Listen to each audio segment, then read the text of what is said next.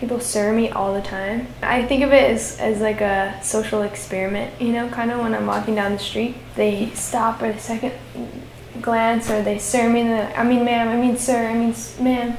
It just means I'm representing all the ideas that I hope I'm representing. And floating between worlds is important to me. Uh, I was born in Garden Grove, California, and then my mom kind of moved me around the country. Super restless, and I'm always wanting to travel and wanting to go do different things. And, and then my mom got me uh, my first SLR when I was four, for my 14th birthday, and then I was just like addicted from that day on. I was photographing a lot of uh, skater kids, like youth, like kids that were my age, just all of us just running around and kind of getting into trouble.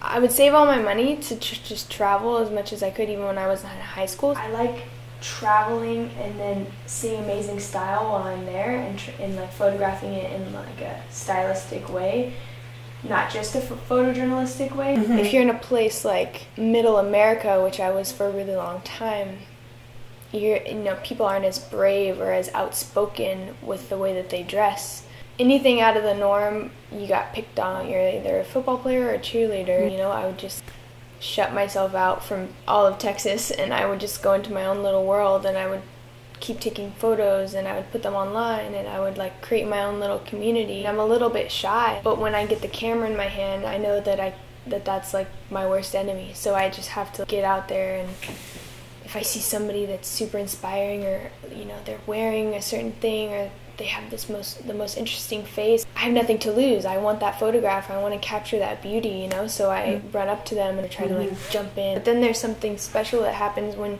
you can break through to like a complete stranger and and get them to open up in a really raw way kind of try to capture them in the best light um, that just shows their personality. People don't stop to look at the beautiful things in everyday life. When I see two people that are like sweeping and they're both wearing these beautiful mm-hmm. blue, mm-hmm. bright blue uniforms next to each other, mm-hmm. it's fascinating to me. Yeah. And so I love incorporating that into my own personal style. Boots that don't necessarily have like a glamorous side to them or like a Levi's jumpsuit from like the 70s. I, I didn't know at first. I was like, I don't know if that's like me, but I'm gonna try to make it me because it's just such a. Just was super inspired by it when I saw it. So this one been in my ear since I was 16 years old. Everyone thinks it's a little staple. I just added like little gold hoops. I just like the subtlety and the gold on the tone of my skin. I get a lot of my accessories or my clothes or anything either in thrift stores or while I'm traveling just to make it more special, you know. It says humble me on it. Uh, most of my tattoos are like daily reminders, know, like stay humble and constantly remember where I come from or the 500 places I come from. and it's hard in the fashion industry. Mm-hmm. It says boogie in the south. It represents how I feel about all the positive things that I did bring from living in Texas. It's a fighter jacket. My friend was gonna get rid of it because it was too big on her, and I was like, "Give me that jacket." Weird and funky blue, and goes with my blue pants. A ten dollar moto jacket, and I just cut the sleeves off. Coat liner. I loved the shape of it. It was like in the little boys section. I think it's supposed to be for like the inside of a jacket liner, but I just wear it on the outside.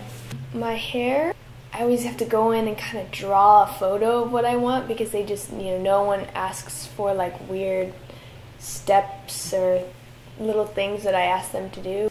This one right here, this says I'm not frightened by anyone's perception of me.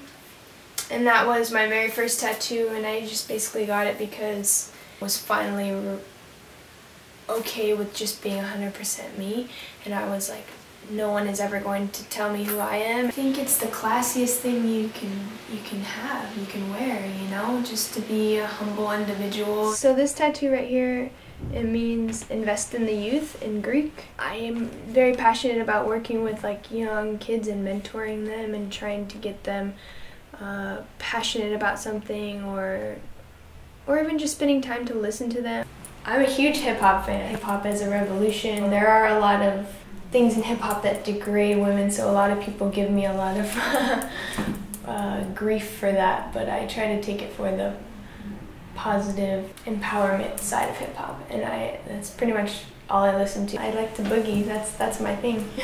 Just trying to be as conscious as possible when I'm photographing a woman to like represent her in a in a way that isn't constructive. I, I don't ever want to like um, expose women in a negative way because I'm super passionate about um, you know empowering them. There are a lot of places in Middle America. When I did live there, it was uh, still extremely ignorant. Um, people are scared. I never came fully fully out until I was like away from that environment because I didn't feel safe. To be able to just hold my head high and walk down the street looking like a boy slash girl slash I'm not sure who, what that is, you know what I mean? Still being myself is hopefully going to make it easier for somebody, you know, 20 years from now.